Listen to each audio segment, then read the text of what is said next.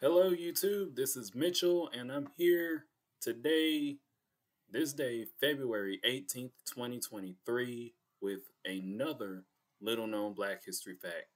So, first, before I start this black, sharing this Black History fact, I just want to tell you that today, breaking news came out of my state that President Jimmy Carter, former President Jimmy Carter, has moved to hospice care at home after turning down medical treatment. So, my thoughts and prayers are with his family, and hopefully, he will get better. So, now today's little known Black History fact that I'm going to talk to you about is about William H. Johnson. So, here's what it says according to BlackAmericaWeb.com. William H. Johnson, an African American man, was the personal valet of President Abraham Lincoln. Johnson was employed by the president well before he went to the White House. He was there when Lincoln received the Republican nomination for president. William Johnson accompanied the president to the famous Gettysburg Address in November of 1863. And 1863, that's the same year the Emancipation Proclamation was signed. When Lincoln became president, he was pressured to fire Johnson because he wasn't the traditional paper bag skin color of the other employees. Johnson was indeed fired, but Lincoln referred him for a high profile job with the U.S. Treasury Department, where they make all the money. Johnson also continued to do some odd jobs for the president, including fittings, valet and barber services, despite White House protocol.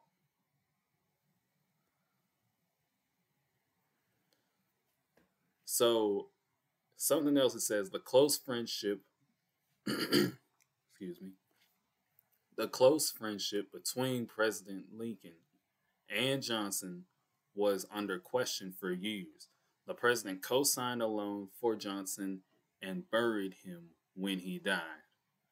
It may have been out of friendship or out of guilt. William H. Johnson died in 1864 after nursing President Lincoln back to health when he showed symptoms of smallpox during the trip to deliver the Gettysburg Address. But when William Johnson passed, it was said that Lincoln had buried his former servant in Arlington Cemetery on a plot with a tombstone that read, William H. Johnson, citizen. President Lincoln never refuted the fact that he and William H. Johnson were friends, not even to the public. But the character of William H. Johnson is loosely portrayed by an actor named Anthony Mackie, who is the same actor who played Tupac in Notorious. But in this case, Anthony Mackie played William H. Johnson in a film called Abraham Lincoln Vampire Hunter. So, one more time, the movie is called Abraham Lincoln Vampire Hunter. So, go check that out and look for Anthony Mackie portraying William H. Johnson.